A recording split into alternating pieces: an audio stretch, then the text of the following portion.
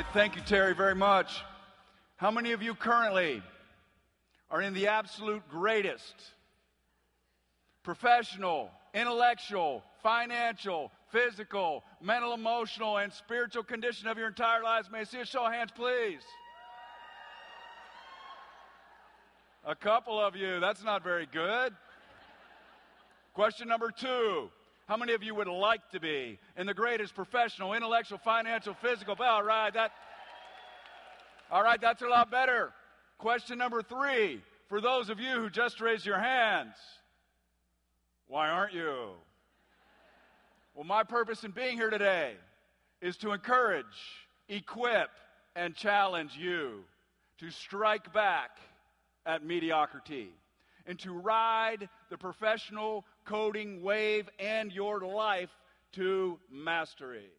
It seems everybody is looking for some pill, some potion, some lotion they can take that will make them go poof and transform physically overnight. A couple of years ago, I was out running errands with my uh, young daughter, and my wife called and she says, Fred, could you stop by Costco? You guys have Costco's all over the United States, pretty much? Sam's Club, big store, right? So she says, Can you stop by Costco and pick up another 30 gallon bucket of mayonnaise? I said, Sure. So we're in Costco and we're walking down the aisle towards the vitamin section.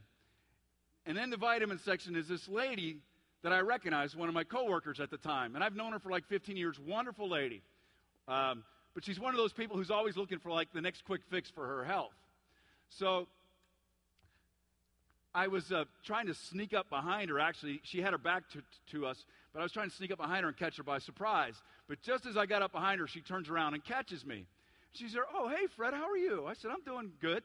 And uh, she had this bottle in her hand.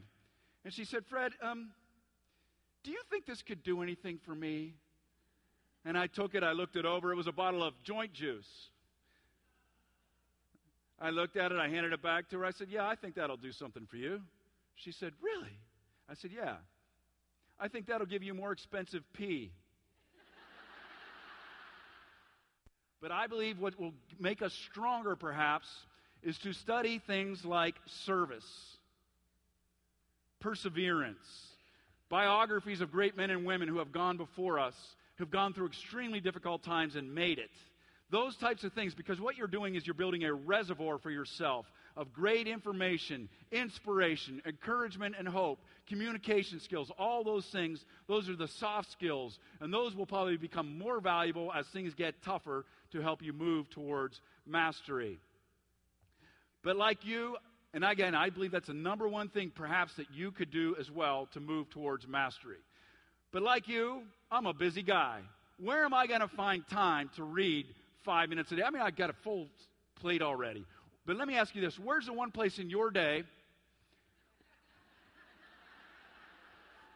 where every morning you can get about five minutes of peace and quiet, nobody bothers you?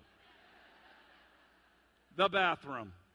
All right? Now, I'm sorry. For you really sophisticated academic types, I can't make it any more glamorous, this, but this is exactly what I did. I went out and bought the top 10 books I could find on fitness, health, and wellness, and I put them in my bathroom. Started to read them. And right away, my wife started to complain. She said, Fred, what's all these books in the bathroom? It looks like a library. I said, That's my learning laboratory. She said, It's embarrassing, Fred.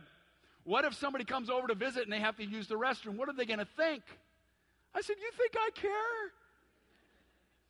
Well, what was interesting is I started going in uh, to read in the morning, and the books started changing. There were books in there I never put in there. How to be a good husband?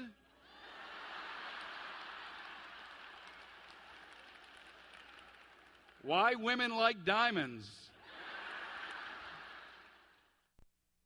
Sadly, though, these days most people aren't sticking and staying.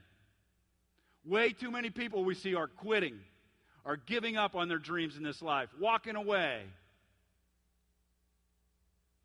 Winston Churchill, after World War II was over, was asked to give a commencement address, the graduation speech at a high school in London.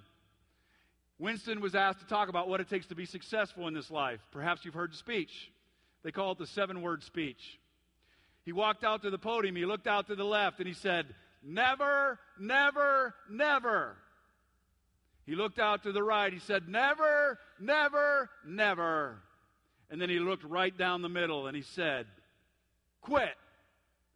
Turned and walked off the stage. But just as he was ready to leave the stage, he stopped and he came back to the podium and he added these words In any good or worthy cause. So I am hoping today that you will agree with me that you, your coding career, your life, your wellness is a good and worthy cause, and cause enough for you to strike back at mediocrity and to pursue mastery. And we know that it is a good and worthy cause. Why? Because you are all affecting the life of at least one other person, too. But it's going to start with you.